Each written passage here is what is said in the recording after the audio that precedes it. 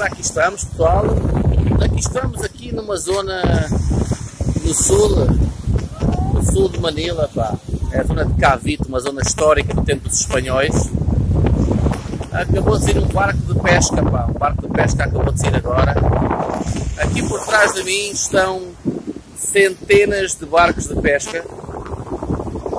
Centenas. Isto é uma zona extremamente exótica, tradicional, é verdadeiras, as verdadeiras Filipinas. Olhem ali para aqueles contrafortes, para aqueles que é para a água não deitar as escadas abaixo para quando há temporal. E depois lá ao fundo há um cabo e depois começa a área de Ternate e Marongondon, que é a área onde os portugueses e os mestiços das Ilhas das Especiarias uh, aportaram assim que os holandeses começaram a, a atazanar os portugueses nas Indonésias.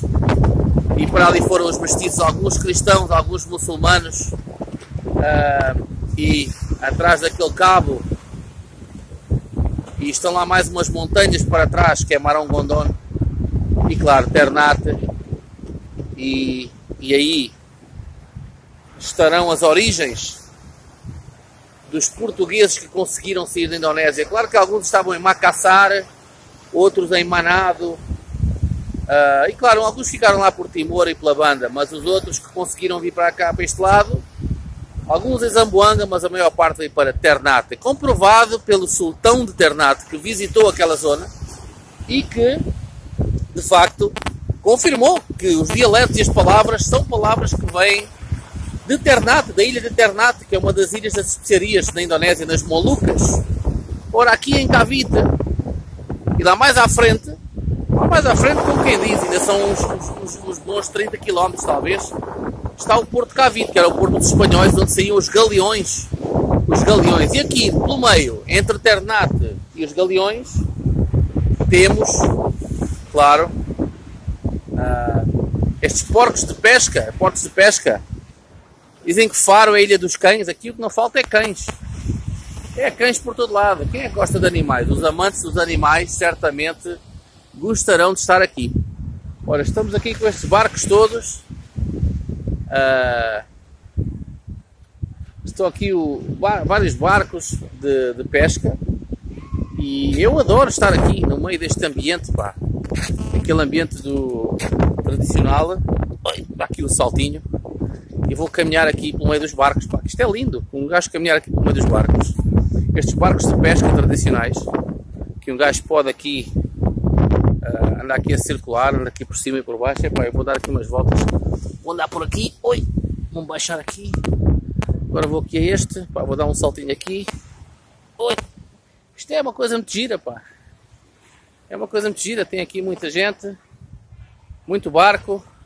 Está ali um pescador a mijar atrás do seu barco. Não há problema, não há problema, rapaz. Uh, fica à vontade.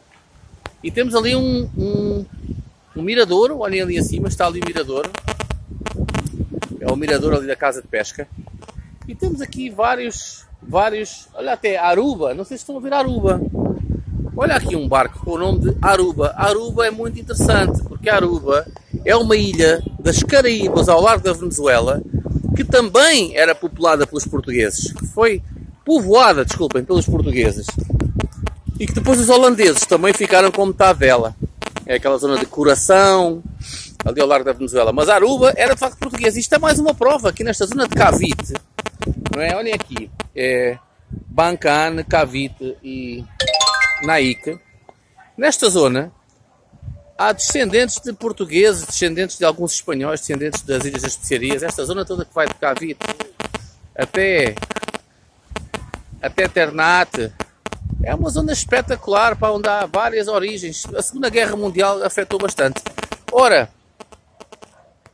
para os negacionistas, para aqueles negacionistas que por aí andam, que gostam muito de discutir sobre as origens do Império, o Império Português, como maus nós fomos, se fomos tão maus, porque é que esta gente gosta tanto das suas origens? Eu digo-vos porquê.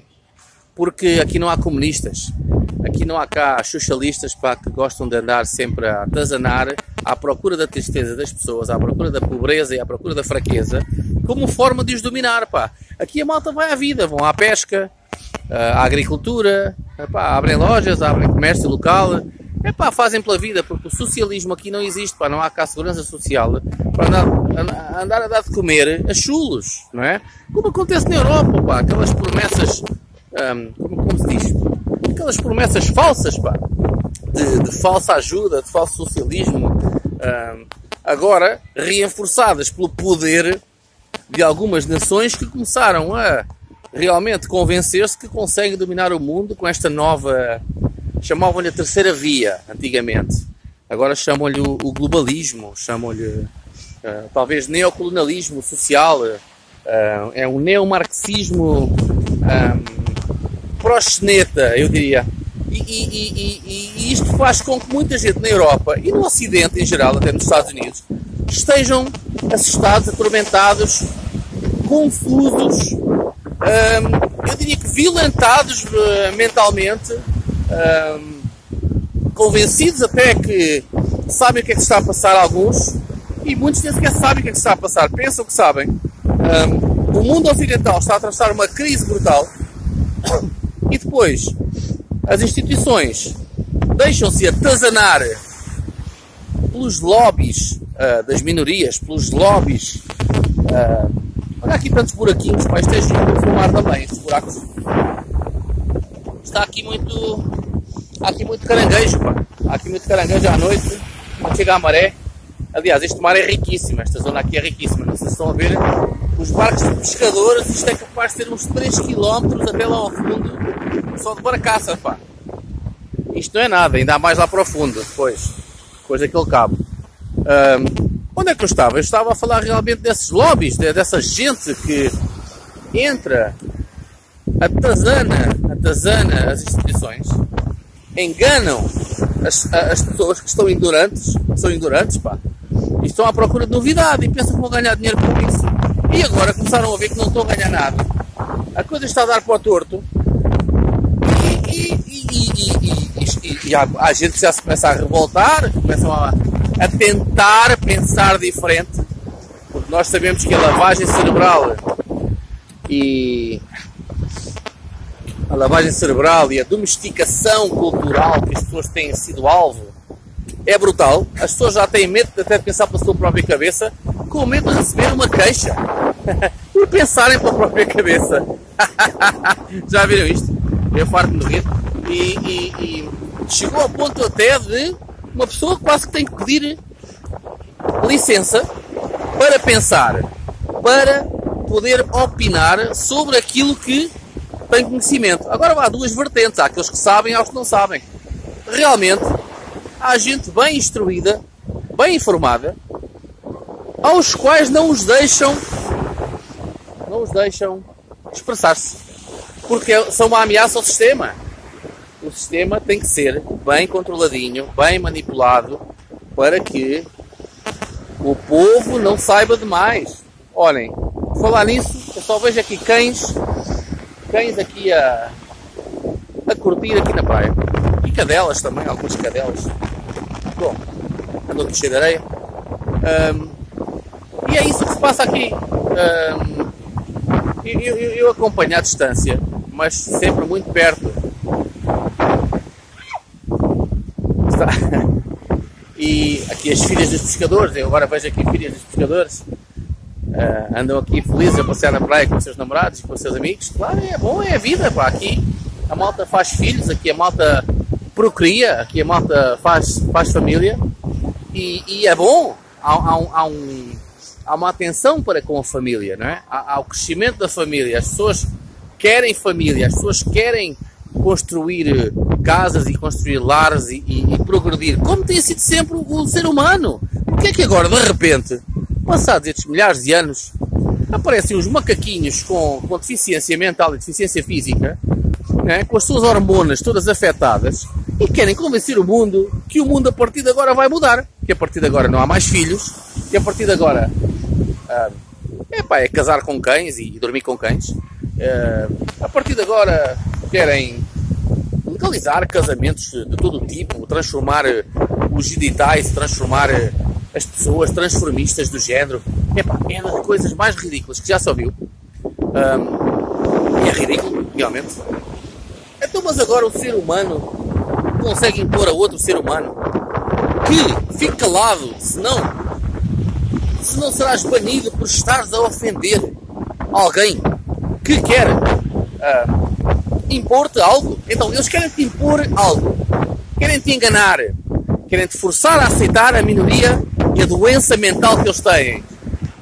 Porque são doentes, pá, são doentes. E, e, e depois, se tu expressas a tua opinião dizendo que não concordas, és um és um xenófobo, és um racista e és um, em casos mais uh, a nível de história ou geografia ou, ou, ou, casos mais a nível até político, económico, és um colonialista, és um, um explorador. Então, mas eles na, na, União Soviética e em Cuba não exploram?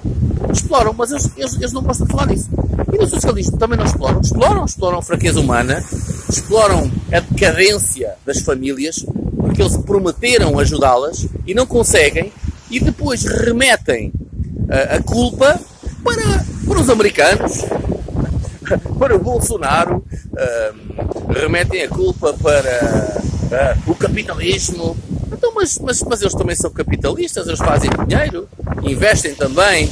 Então, onde é que está o problema? O problema aqui é que eles querem substituir as instituições e fazer eles próprios novas instituições. Olhem só para a igreja. Ah, então quer dizer, andam aí pedófilos aí, uh, muçulmanos, a, a, comer raparigas de 10 anos e a casar com elas aos 10 anos e aos 6 anos. E ninguém diz nada. Mas depois protegem-nos e dão-lhes abrigo para que venham para o Ocidente fazer o mesmo. E depois, se alguém se queixa, não pode ser. Tem que haver liberdade de escolha. Liberdade de escolha, mas calma. Tem os valores. Os valores, bom, eles ficam assim meio afetados com os valores. Os valores, os valores, é pá, o Estado é, é, é o Supremo. É, temos a lei e temos o Estado. Então, meus amigos, então, e, e as tradições do ser humano, as nossas origens, as nossas religiões, não conta. É que estar a abrir a porta ao demónio, pois não se queixem. Pois não se queixem. É que há, há limites. Uma coisa é convidar alguém a almoçar em casa. Outra coisa é, é, é, é deixar-se dormir e o gajo já está a saltar o frigorífico e está a levar o ouro da mãe. Não estão a entender. E depois há a história da mãe e do pai. Isso também é outra. Hoje em dia, uh, as famílias não se conseguem manter. Uh, há muita crise de valores, ao ponto até do Estado querer substituir a Igreja e os comunistas tentarem criar uma nova religião social que não dá realmente em nada. Estão a tentar fazer isso há quase 100 anos. A tal revolução do proletariado, dos, dos funcionários, seja públicos, seja de fábricas, seja o que for, não conseguem, não, não, não conseguem, meus amigos, a substituir o papel social que a Igreja, por exemplo, tem feito desde o tempo do Rerum Novarum, do século XIX, em que a Igreja realmente se comprometeu à ordem social, a criar escolas para crianças, às horas mais pobres. Mas depois dizem, ah, mas na Igreja há pedofilia. Há pedofilia na Igreja. É capaz de haver, e certamente há, mas também há pedofilia no Estado, há pedofilia nas empresas, há pedofilia nas famílias, nas, na, na, na, nos bairros sociais mais pobres. E dessa pedofilia não falam. Porquê é que de repente só falam da pedofilia da igreja? Isto começou no ano de 2013 com o Benedicto, o Papa Benedicto, quando começou a limpar ali o Norte de África, a dizer-lhes que era tempo de uma uh, primavera, uma primavera, né? embora ali não haja muita primavera, que está sempre quente, os gajos ficaram todos trocados, tiveram que pedir ao Benedicto para sair e meter o Francis. O Francis, que é assim meio a, a pactuar com os comunas, olhem lá como é que está a Argentina, a Argentina dele, como é que está a América Latina já? A América Latina já está de rastros, com tanto socialismo. A Europa também. Os Estados Unidos é o, é o Sanders e o Obama e, e, e, e, aquele velhote que anda lá há mais de 40 anos a chuchar nas instituições, que é o Biden, que manda a Pelosi e manda ao filho fazer negócios no Taiwan e negócios na, na, na Ucrânia para despoltar a, a ira uh, dos comunistas para depois isso sacar benefícios. Isto é da coisa mais hipócrita que pode haver. Então o mundo que estava a funcionar bem, de repente com tanto socialismo e tanta promessa e tanto humanismo, dizem eles, descambou num caos total. E agora, como é que vão sair desta? Ou há guerra, ou então saem pelo próprio pé. Eles não vão sair pelo próprio pé porque estão agarradinhos às instituições, desde as Nações Unidas, conseguiram povoar a NATO, conseguiram entrar pelos governos. E agora, my friends, como é que vai ser? Olha, eu não sei. Eu sei é que aqui no, nos países que eles dizem terceiro mundo, alguns deles emergentes, outros possivelmente nunca vão emergir, mas aqui parece que está tudo normal. As pessoas estão totalmente alheias dessas modinhas e dessas influências uh, que se passam no Ocidente. As pessoas estão a viver a vida normal, vão ao centro comercial, há dinheiro para ir jantar fora, o custo de vida é baixo, uh, combustível, embora tenha sofrido algum aumento devido à pressão global, continua baixo porque eles também têm petróleo, eles têm gás, eles têm bananas, eles têm fruta, eles têm um, eles têm um, todo tipo de vitaminas, proteínas, têm vacas, têm galinhas. Bom, eu posso estar aqui a gozar com isto tudo, mas não é por acaso que o Ocidente, quando entrou em crise na Idade Medieval, foi forçado, o Ocidente, foi forçado a vir aos trópicos buscar a matéria-prima que precisava para sobreviver. Porque na altura também houve uma grande crise, foi, foi, foi a febre, não é? Aquela, aquela peste, aquela peste negra, não é? Parecida à peste bubónica, pronto, eh, que dizimou quase toda a Europa. Vá lá que Portugal, Espanha e Itália ainda conseguiram mais ou menos reerguer-se com o apoio da Igreja e conseguiram explorar o mundo e trazer alguma coisa à Europa. Mas assim que a Europa, a Flandres, ehm, a, a, a Inglaterra, a Holanda, a partes da Áustria, França, assim que eles tomaram o pulso à coisa, começaram a assaltar o sul da Europa e tomaram a Europa e construíram as instituições que hoje deram na União Europeia, que domina a Europa. Mas de repente estão a entrar no mesmo erro que entraram antigamente. Estão a colapsar outra vez. Porquê? Porque não têm valores, porque não têm respeito pela diferença. Dizem eles que são muito humanistas, mas eles não respeitam. Eles querem dominar, tentar influenciar a liberdade, controlar a liberdade e depois dizer que uh, aprovam a diferença. Mas a diferença não é aprovada, a diferença é imposta. Uh, a diferença é imposta de acordo com a diferença que eles acham que é para aprovar. Meus amigos, é uma hipocrisia. Depois temos a história dos bancos uh, alemães e companhia, que o, o truque deles é simplesmente fazer refém as economias mais pequenas. Então, foi por isto que fizeram a liberdade em Portugal. E foi por isto que depois a liberdade se associou à União Europeia, que é uma desunião. Meus amigos, não, comigo não. Olhem, está aqui um grande coral. Epá, isto aqui é uma pedra de coral brutal, olhem para isto. Isto é um coral quase do tamanho. Quase do tamanho. É? é um grande coral. Isto aqui há corais, há, há aqui muito peixe, há aqui muito marisco. Isto é comida boa. Por acaso eu vou ali comer um mariscozinho, pá. Por um euro. Saco uma pratada de camarão com arroz. Uh, e uma imperialzita. E depois mais logo vou ver a família. A gente é domingo, não é? Ora, e ali está a malta a jogar basquetebol, o dia está bom, assim já um pouco nublado, que já é fim do dia. E como estamos aqui na época, não é bem praticamente verão, é época das chuvas, mas é, está calor, estão uns 28 graus, está um ventinho agradável, o povo diverte-se, ninguém usa máscara, está tudo feliz, pá. Uh, e não há cá modinhas de de géneros e manias e pressões e queixinhas e milícias. Epá, aqui, aqui no Oriente o estilo é diferente. O estilo é, apesar de ser um pouco mais musculado, como também é na América Latina. Uh, what's up, what's up? Temos aqui uns filhos de pescadores aqui a curtir também, ali a curtir um grande som ocidental. Eles absorvem a cultura ocidental, de facto, mas têm o seu próprio estilo. Não é como, por exemplo, agora o que o Biden anda a fazer. Uh, a democracia cowboy. O gajo chega ali e impõe, e impõe. Vocês não têm nada para impor. Os gajos não têm quase nada para impor. Têm algum capital, de facto. Mas se isto vai à guerra, isto aqui dói para todos. Pá. É nuclear para um lado, é nuclear para o outro. Destroem-se todos e aniquilam-se todos. Quem é que sobrevive? Ficam estes aqui das Filipinas, ficam os da Papua, ficam os de Timor, ficam os da Nigéria, lá do Sudão e companhia. Isto, no fundo, se o Ocidente se tenta degladiar Aquilo que eu já falei antes, falei durante o tempo da pandemia. Na pandemia falei sobre isso em 2020. A luta de galos. Se os galos se degladeiam, isto são galos de morte, eles vão todos dar o badagaio e de repente, quem é que sobra? Sobram aqui os ratinhos da Índia, pá. Os ratinhos da Índia que vão ficar de pé. Então os emergentes estão mesmo à espera que a malta comece a abrir fogo, porque só eles é que vão ganhar com isto foi exatamente o que aconteceu depois da Segunda Guerra Mundial. Uh, claro que o Japão aqui lixou muita coisa na Ásia, mas vejamos, a história repete-se. O ser humano está sempre a repetir os efeitos que advêm da evolução da história, que uh, é, um círculo de, de situações que se repete.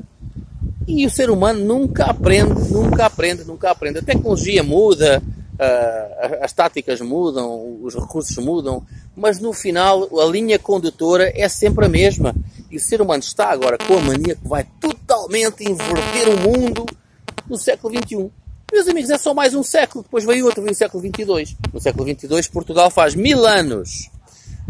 Nós estamos a caminho dos mil anos. Portugal pode ser, de facto, um, um polo, um polo, uh, um polo no Atlântico Sul e até no Atlântico Norte, mas no mais no Atlântico Sul, Açores, Portugal, Brasil, Angola, Cabo Verde, nós temos ali um, um triângulo dourado, mais a, a, a situação de termos influência forte a nível cultural em várias partes do mundo, nós temos todas as condições para reavivar a nossa influência a nível diplomático.